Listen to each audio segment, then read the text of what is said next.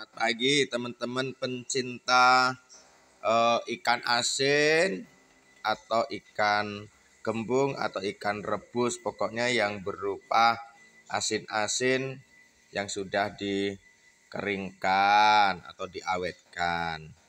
Nah, aku mau ngasih tahu nih kepada bapak atau ibu-ibu yang suka makan ikan asin dan sejenisnya. Jadi sebelum diolah sebelum dimasak atau sebelum digoreng atau sebelum dibakar usahakan direndam dulu pakai air panas ya. Dikasih garam ya. Tujuannya apa?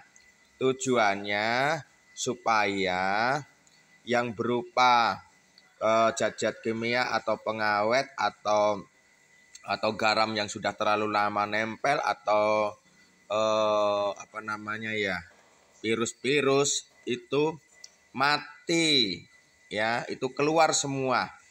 Ya kalau nggak percaya coba ya sebelum digoreng sebelum dimasak itu direndam pakai air panas pakai garam. Nah ini jadi empuk dia. Nih empuk. Kenapa? Karena dia sudah hilang ya. Zat-zatnya virus-virusnya udah hilang. Kalau langsung digoreng begitu langsung dimasak dia keras dia keras sekali. Ini empuk. Dan warnanya air rendaman itu nanti dia berubah menjadi uh, gelap ya. Kekuning kuningan campur putih gelap begitu. Ya itu semuanya sudah keluar ya.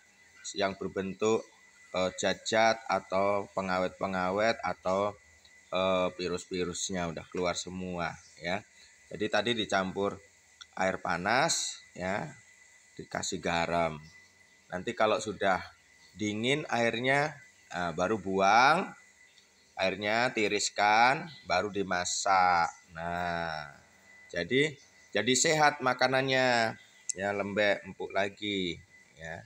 Demikian selamat menikmatin ikan asin atau ikan rebus atau ikan gembung.